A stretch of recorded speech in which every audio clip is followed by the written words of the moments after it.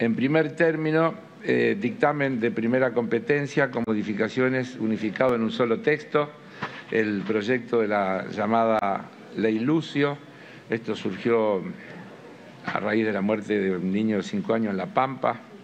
Este, el proyecto promueve la protección de los derechos de la infancia y prevención contra las violaciones de niñas, niños y adolescentes. Plantea tres herramientas para prevenir la violencia, los abusos, en fin, las aberraciones por las que pasó Lucio, como bien describía presidente, y tantos niños en nuestro país, y que pueden ayudar a prevenirlos. Primero es una capacitación para todo el personal que está trabajando y dedicado a los temas de niñez.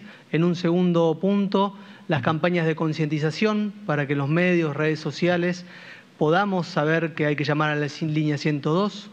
Y por último, instar a, que las provincias y en todo lo procedimental planteemos la reserva de identidad en el expediente, la protección del denunciante. Tanto el proyecto de la diputada Paola Besbesián como del diputado Maqueira como el propio trataron de llegar a conseguir que podamos capacitar a aquellos que trabajan con la niñez.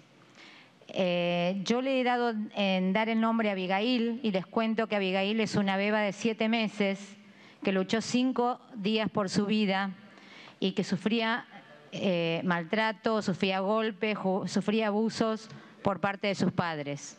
Pero lo grave es que era una niña que estaba en el sistema de protección de niñez estaba judicializada. Y para nosotros es fundamental esta ley, primero porque viene a fortalecer un trabajo que ya está haciendo el Ejecutivo, que lo está haciendo no solamente la Secretaría Nacional de Niñez, Adolescencia y Familia, sino que lo está haciendo en conjunto con el Consejo Federal de Niñez. Es una ley que promueva una capacitación desde una cuestión una imagen positiva, desde un fortalecimiento de los sistemas de protección de derechos, respetando las realidades regionales y territoriales